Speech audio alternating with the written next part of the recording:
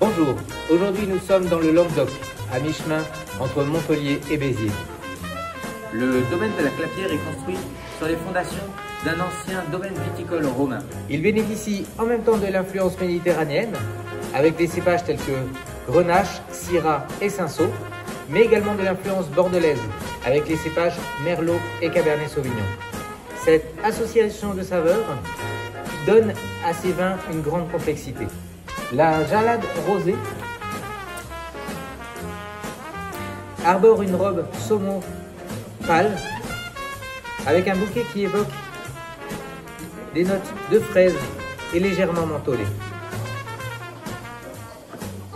En bouche, l'attaque est franche avec un milieu de bouche équilibré et une finale légère. Le jardin de Gilles est une cuvée parcellaire avec une robe grenat sombre, des reflets briques.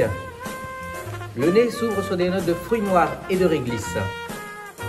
En bouche, le vin présente un bel équilibre, avec des tanins mûrs qui lui donnent un caractère rond et fruité. Et donc la cuvée Gatfer, qui est la cuvée parcellaire du domaine, qui bénéficie de petits rendements, élevage de 12 mois en barrique. Les notes empyreumatique de cèdre et de cacao se mêlent aux arômes de pruneau. La concentration amène le vin beaucoup plus loin en bouche, des tanins qui sont serrés et de très belle qualité. Nous sommes dans une région qui possède un terroir particulièrement favorable à la vigne et le domaine de la Clapière a su en tirer tout le potentiel. Merci pour votre attention et à bientôt pour des nouvelles dégustations.